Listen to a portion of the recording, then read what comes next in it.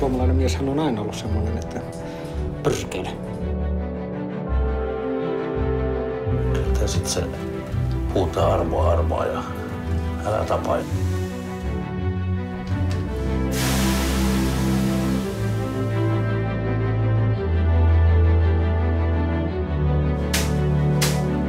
Mä en tahdo olla yksin.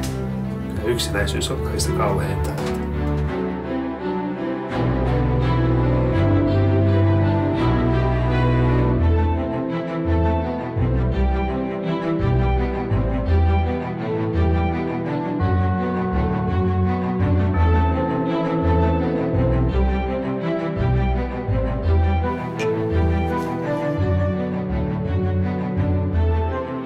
Oli jotenkin niin ihmeellistä, että meikäläinen isäksi vielä tämmöisen elämän jälkeen.